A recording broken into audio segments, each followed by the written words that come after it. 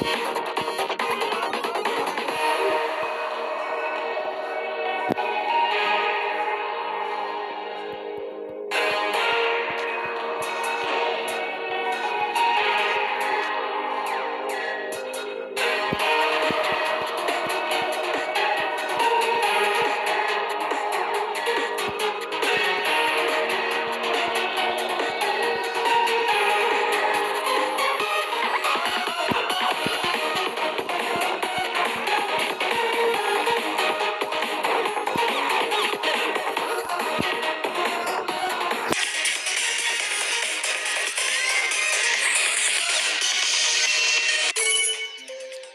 hit the notification bell and subscribe and like.